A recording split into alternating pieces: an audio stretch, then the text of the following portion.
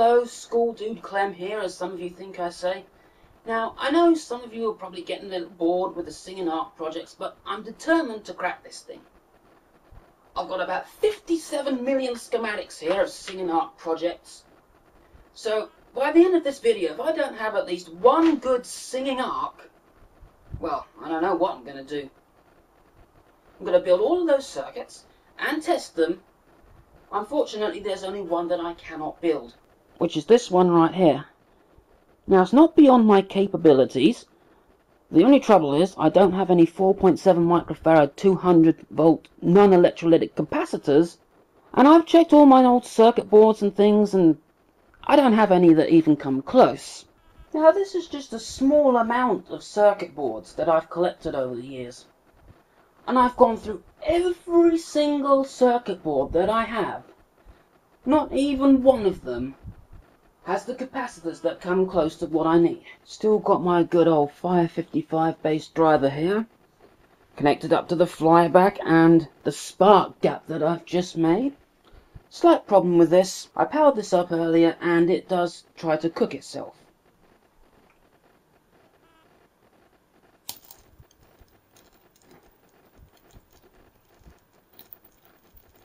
Well, as you can see, the arc sometimes jumps to the back of the thing and uh, chars the wood. Because I didn't really think about this. I just put it together with wood and hot glue, forgetting how hot the arc is going to be, and I'm afraid that might melt at some point, so I better not keep that running. Okay, so here I have a couple of circuits built. Now this one on the top is based on Vegmatic 1966's singing arc experiment. I've made a couple little changes to it. I've put a variable resistor here to adjust the frequency, and a transistor there to invert the duty cycle, so instead of being around 75%, it should be about 25%. And this one on the bottom is this circuit here. And unfortunately, the site that I got this from was all in Czechoslovakian, but I was still able to navigate it and find the schematic and build it, as you can see here. Slight problem. I did power this up earlier and found it didn't work.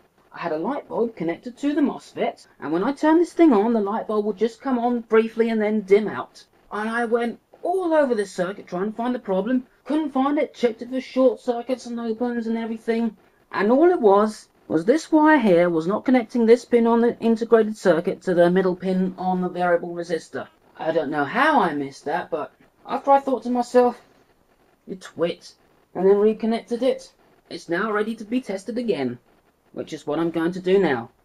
Well, it appears this thing has more bugs than I thought. Literally, I was going to plug this in and this little guy decided to crawl onto the audio jack, just sitting there.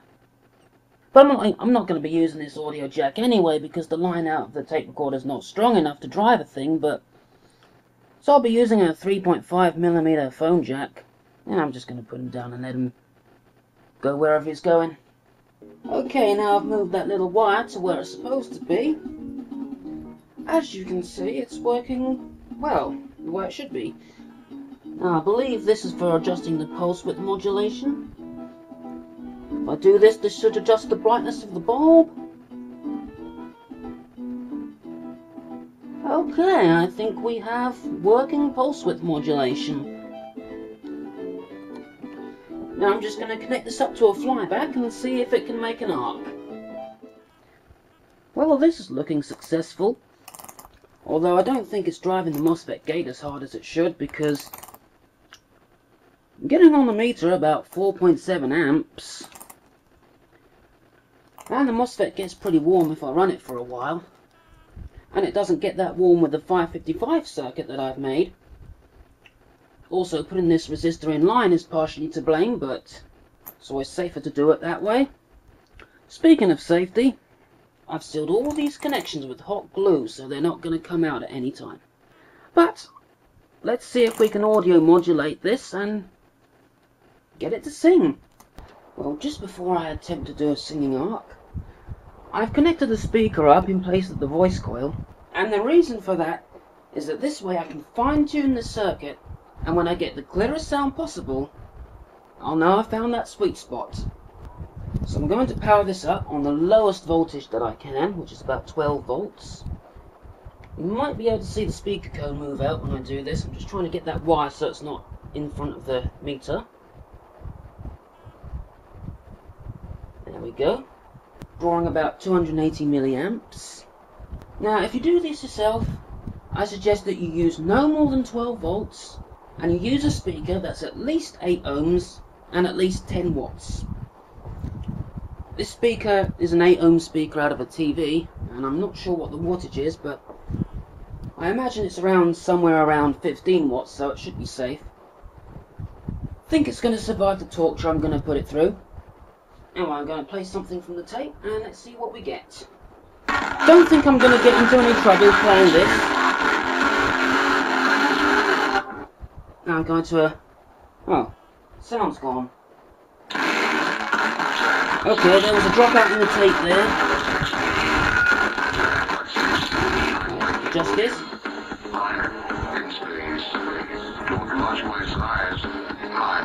There we go.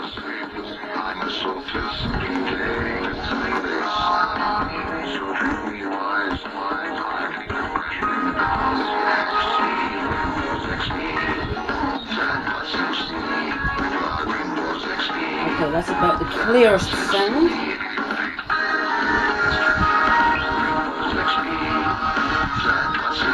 Drawing about 550 milliamps.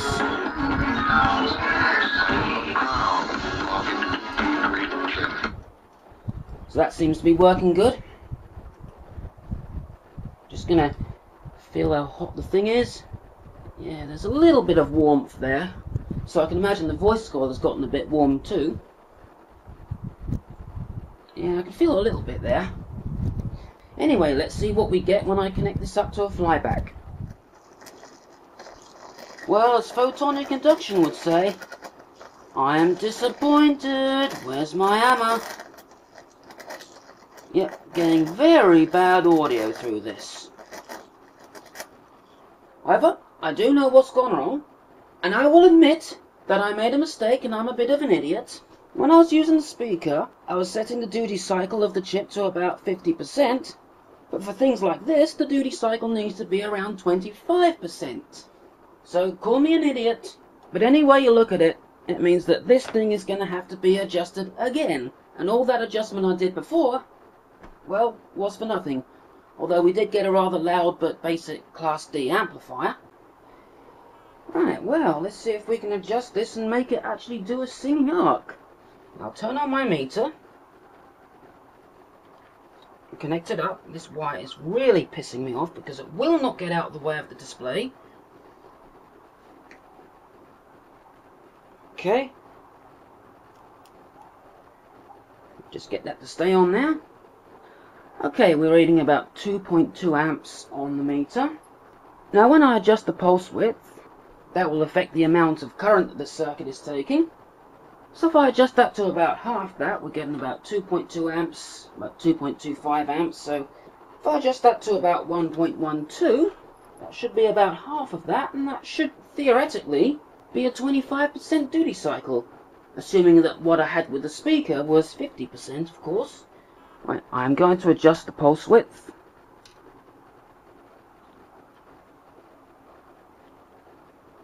Current on the meter is dropping. Okay, that's a little bit too far. Let's go to 1.12. Okay, that's about as close as we can get it. Well, close as I can get it. Let's just see if this will arc.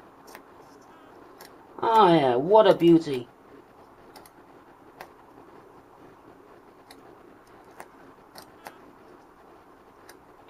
And bingo! What did I just say that for?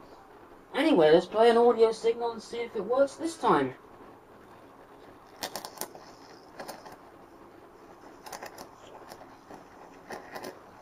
Hmm. Still not much. Okay. I'll get my little screwdriver and I'm going to adjust the duty cycle while the thing is arcing and we'll see if that produces anything. try not to get myself electrocuted in the process.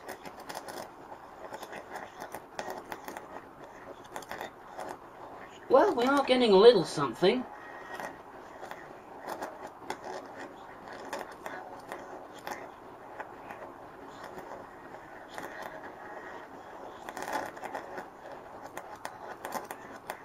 I'm getting a little bit of sound out of it. It's quite distorted though.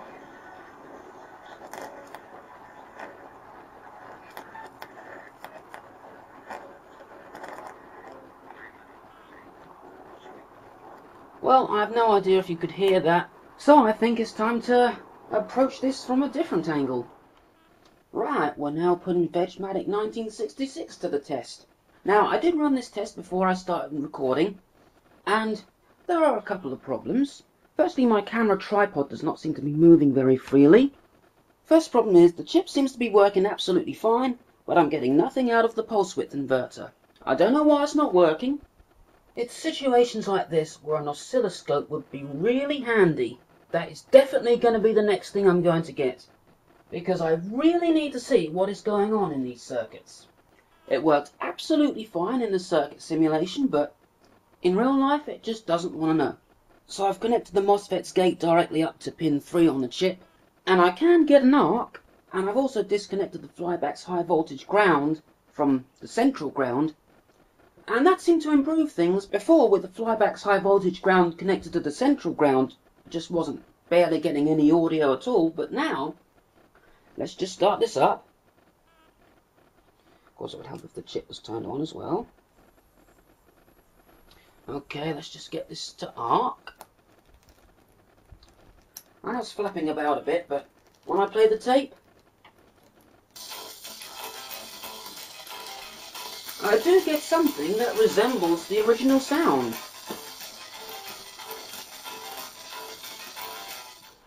I've now got a speaker connected in place of the flyback. I'm going to turn the things on again and start the tape playing.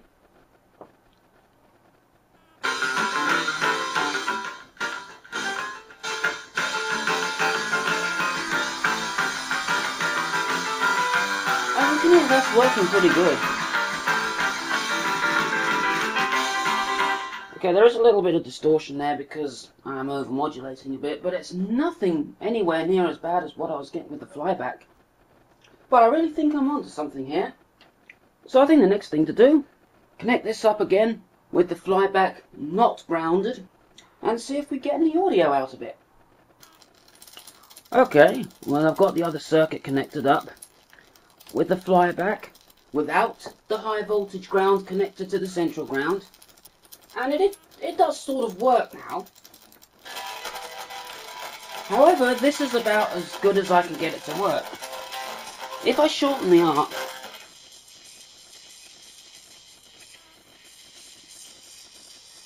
well, it just doesn't really sound like much at all. It sounds quite distorted when I put it there, but when I put it here, somewhat less distortion and much more volume. But it's not perfect by any stretch of the imagination. So it looks like some further refinement is in order.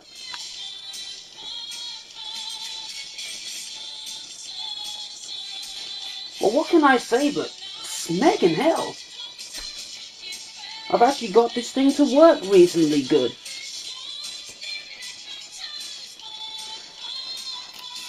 Remember this little circuit here? My 555 driver that I made? Well, I applied an audio signal to this, see if that would work. And what do you know? It works better than any other things that I've found on the internet. Crazy.